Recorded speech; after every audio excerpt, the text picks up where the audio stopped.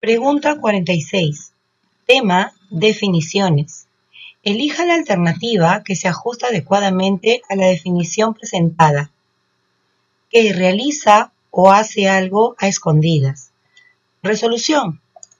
De acuerdo con el diccionario de la Real Academia Española, esta definición le corresponde al término furtivo, ya que en su primera acepción se lee que se hace a escondidas.